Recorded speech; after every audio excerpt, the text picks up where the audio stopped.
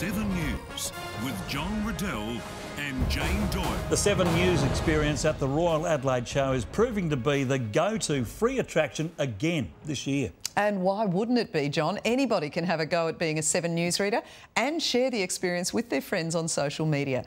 Let's cross to our latest correspondent at the show. That's oh, thanks, Jane. That's right. I have never ever read live news before, and hopefully it doesn't show.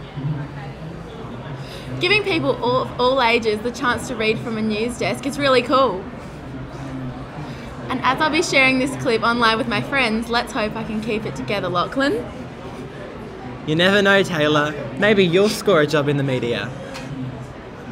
If you'd like to have a go, come on down to the Royal Adelaide Show and sign up. We even have celebrities from Channel 7 popping in, and you might just get to read the news with them. Watch Adelaide 7 News every night at 6 for more show news. Back to the studio.